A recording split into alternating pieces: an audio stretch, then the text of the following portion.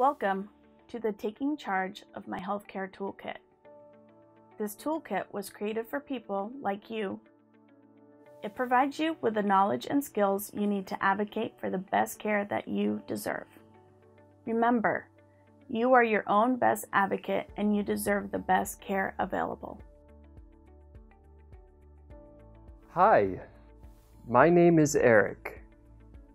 I am taking charge of my healthcare by learning more about my health and making sure I understand my healthcare rights.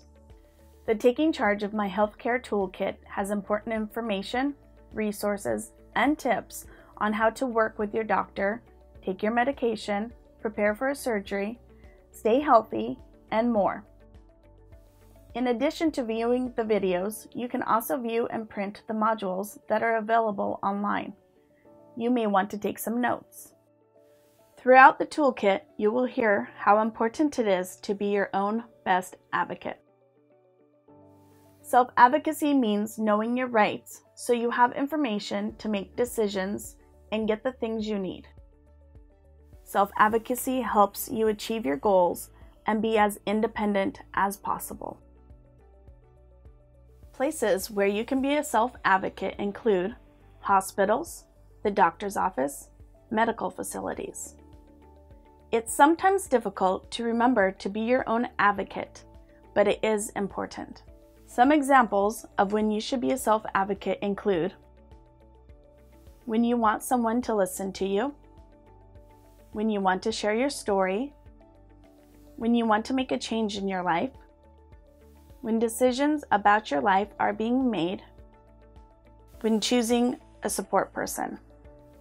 If you're wondering why you should be a self advocate, it's so you can educate yourself and others of your wants, needs, and rights, vote and help change policies and laws, be involved in your community, make choices about your finances, transportation, housing, employment, and education.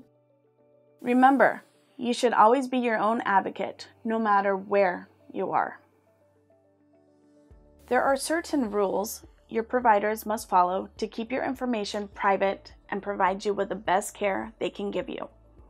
As a patient, you also need to follow certain rules and follow the instructions from your healthcare providers. Understanding the instructions and rules will help you be your own best advocate and make the best choices for your health. Who can be a self advocate? I can. You can. We all can. Me. I'm working as an advocate and I'm fitting in with the rest of my peers in the community. One day we won't have parents to take us to the doctors or do things for us. We have to stand up for our rights so we know we live in the community. I benefit the most when I stand up for myself because only I know my body the best.